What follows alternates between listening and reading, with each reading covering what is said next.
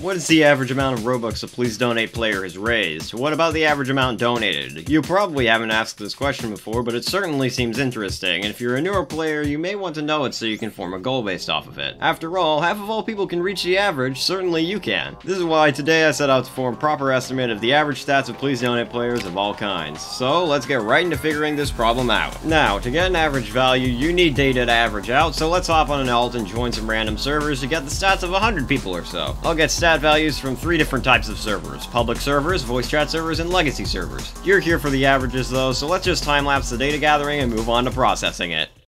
Okay, so I've just run the numbers through a Python script, let's take a look at them, starting with public servers. Prepare for a lot of talking about how these numbers are calculated, but this will only happen for the first section. Anyway, these servers are the servers everyone joins when they start the game and learns to hate as they play. The overall mean average amount of raised, which is calculated by just adding everyone's raised together and dividing by the amount of numbers we added together, is 1,394 raised. This sounds about right, though it may not be, since there can be people with an incredibly high amount of raised dragging the average up significantly significantly. So, by removing the top 5 and everyone with 0 raised, we get a number that isn't as affected by the people with drastically different stats, also known as outliers. Without these outliers, the mean average is 995 Robux raised, so anyone with 1000 raised or more is above average in a public server. The actual number could be much lower though if we use another type of average, the median average, calculated by arranging all of the numbers in a set in an ascending or descending order and picking the one in the middle. The median average raised stat for public servers is only 166 Robux raised, so if you're anywhere above that and you regularly play in public servers, you're above average. Unless you remove those who haven't raised anything, as most public servers have several people with zero raised. So, if you remove them from the calculation, you push the median average up to 285 raised. No matter which way you put it though, these are the lowest numbers you'll see until we go back over public servers for the donated stat. For voice chat only servers, I had to join on my main account because my alternate account doesn't have voice chat. Either way, it shouldn't have affected it that much as I never ended up joining a friend's server, just gonna say that for transparency transparency in case it somehow affected the data. That out of the way, the mean average for voice chat servers is 26,428 raised, and without outliers, it's 9,813 raised. This is why many YouTubers say to join voice chat servers, the people in them have significantly more Robux. The median average is also more than double the overall mean average of public servers at 3,115 raised, or 3,147 raised excluding those who haven't raised anything. This is so much higher than public servers, though joining them comes with the risks of using Roblox voice chat and dealing with its unpredictable moderation. However, voice chat servers are not the only option, as legacy servers also have significantly higher stats than normal servers. The mean average raised for these servers is actually significantly higher than voice chat servers at an insane 53,815 Robux raised, or 11,293 without outliers. Speaking of outliers, I feel like it's a good idea to mention that during recording in these servers, I encountered someone with over 3 million raised, so they're probably dragging the general mean average up by over 20 20,000 Robux. This may explain why it's so much higher than voice chat servers, and it's why I provide the number without outliers. This may seem like it's significantly better than using voice chat, however the median raised is significantly lower, sitting at 1,245 raised or 1,340 without including people who have nothing raised. Though, this is still better than public servers, and the high mean average shows that people with high raised do play legacy servers, just not everyone has a ton of Robux there. Now, since all the stuff we've seen already is for the raised stat, we have to do everything again for the donated stat. All the average calculations are the same, so let's just look at the baseline average of the public servers. Unsurprisingly, it's absolutely abysmal. They all make sense, with the mean average of 432 Robux with outliers and 230 without, and the median at 55 only including those who have donated something before. However, the median average including those who have not donated anything is a mere 5 Robux. Now, you may recall that the median raise was 166 raised, so it's not bad that nearly nobody in public servers has donated anything. Some people just play the game to get some Robux for game passes and therefore wouldn't be donating. There's nothing wrong with keeping some Robux to yourself. Also, the public server sample had some bots in it, and they're not programmed to donate, just fool people to give in to Robux. Either way, the voice chat only servers yielded better results. There was an insane mean average of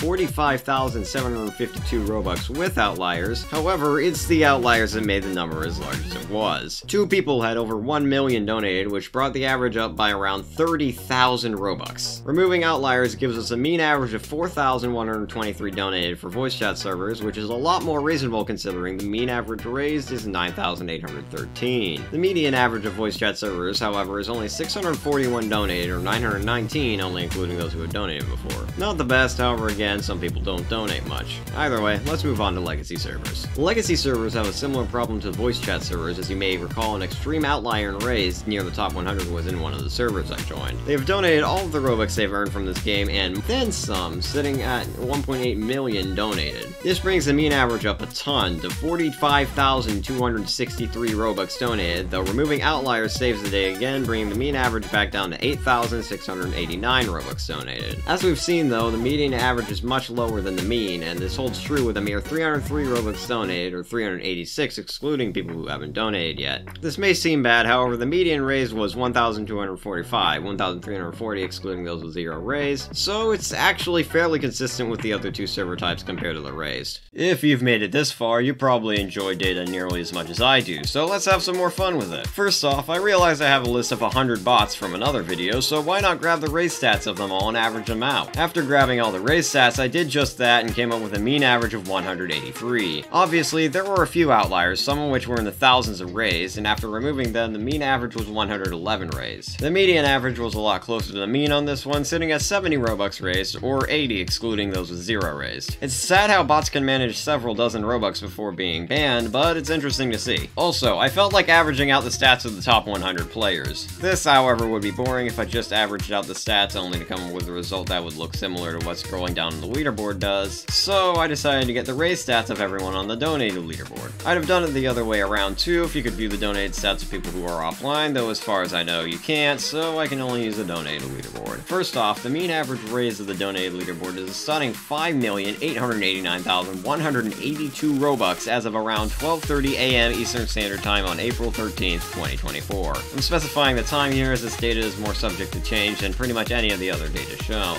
Either way, let's remove the outliers from this list as the person with the most raised out of everyone in Please Donate is on this leaderboard. Removing the top 5 raised and bottom 5 raised from the list gives us a new mean average of 3,645,171 raised. Still absolutely insane, though remember there's still people with well over 10 million Robux raised on this list, so the median average of 1,501,709 raised is probably better to show what the true average is, like it probably is for just about everything here. By the way, I was curious about who had that median average, as it always corresponds to an entry, and it turned out to be one of the most active donators as of recently, Your YourShoes22. Either way, even the highest of these averages barely scratches the bottom of what's required to even reach the donated leaderboard, so it's evident that most people on that leaderboard either purchase an absolutely unbelievable amount of Robux, or more likely are developer. Some people seem to have raised all or most of the Robux that they've donated, but most have gotten theirs from somewhere else. Well, that's it for averaging anything and everything I can in-game. If you enjoyed the video, I'll be posting all the data in this video and more in my Discord server shortly after this video goes live, so join that if you want to see all the averages used, all the averages not used, and all the raw data in this video. Also, like, subscribe, and I'll see you in the next video.